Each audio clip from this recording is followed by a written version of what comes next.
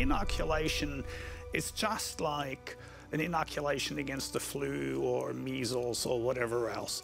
You're exposed ahead of time to a small dose of the disinformation by someone pointing out to you how you're being disinformed. And then once you understand the strategies that people use to disinform you, then you can spot it and then you can resist.